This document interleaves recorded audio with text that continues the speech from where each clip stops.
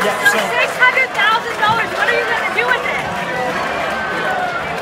I want to buy a house on one level. That's what I want to do.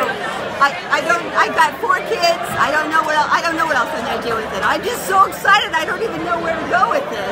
You were at a satellite location, correct? Yes, we are Papa Frank's. We've been there every, every week for the last 10 weeks, yeah. And so knowing that tonight they were going to choose four, and you were just the second ticket drawn. Uh, I can't believe it. I seriously cannot believe it.